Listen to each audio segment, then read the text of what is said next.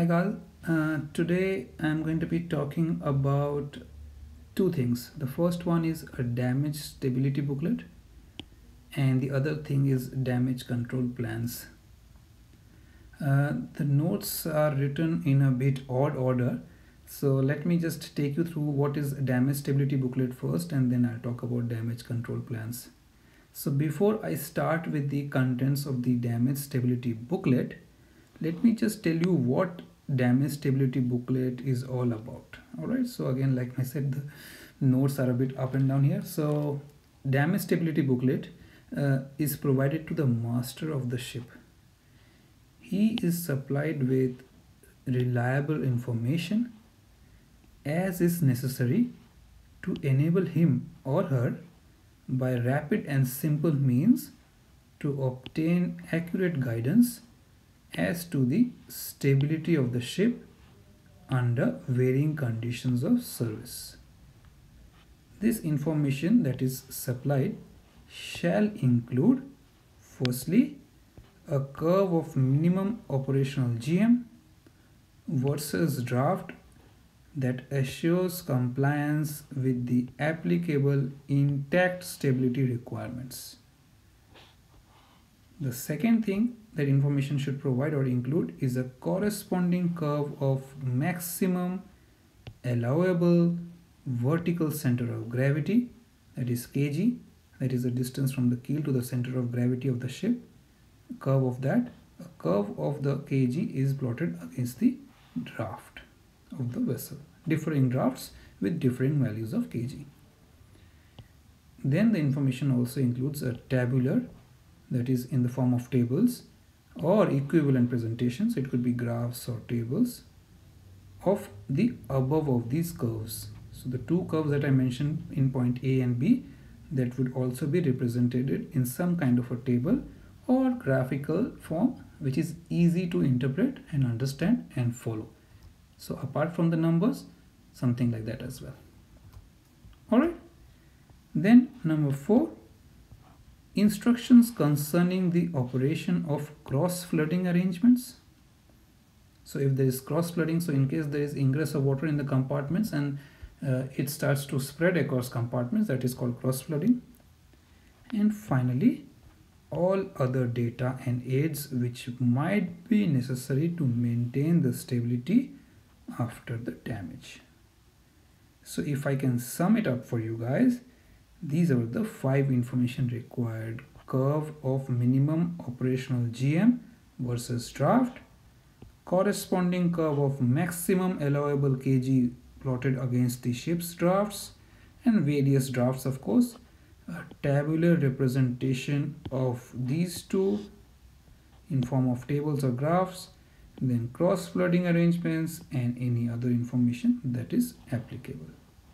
Now I go back to the top of my notes again to show you how these are used. So let's start talking about how it is used.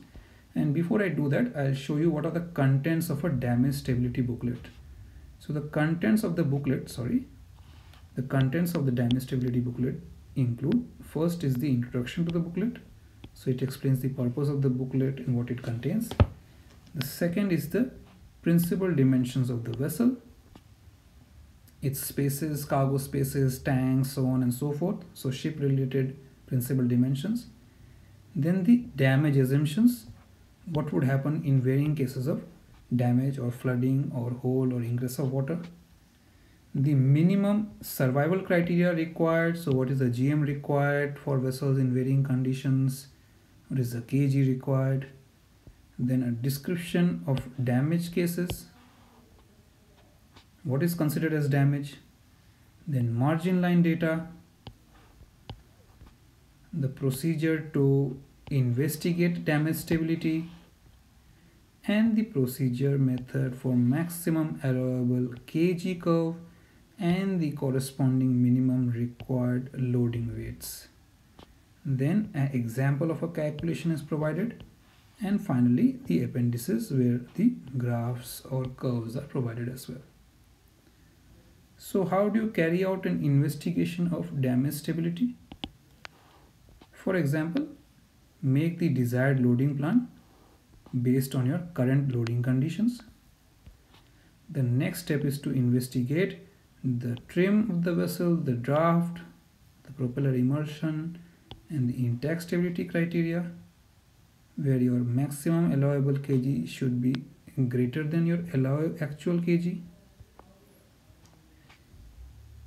If draft is above x meter, the value of which will of course differ from ship to ship, then ensure that weights loaded in cargo tanks against the table showing minimum required loading weights at various drafts is checked and the actual weight should be greater than the minimum weight required. The next step after that is go to the maximum allowable kg curve with the kg corrected for the free surface effect and the draft of intact stability condition regardless of trim and then there are two scenarios. I'll show you what the curves look like in a drawing below. If kg is found to be in stable zone then the vessel will survive, you are fine, no need to take any action.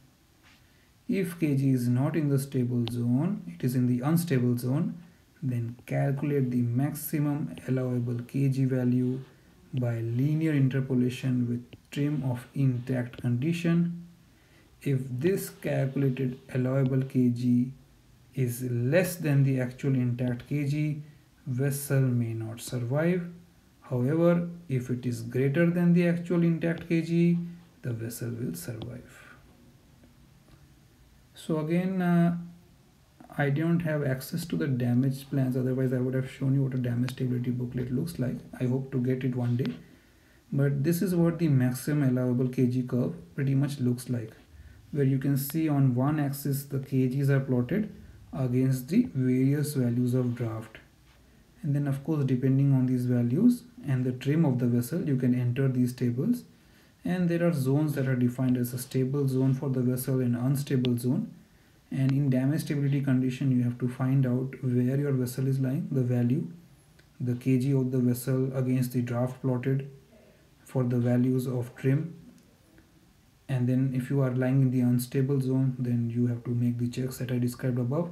If you're lying in the stable zone then of course your vessel is still safe even after the flooding has taken place so guys i hope this was useful to you. But before i finish this video i want to talk about damage control plans because sometimes people get confused between damage stability booklet and damage control plans.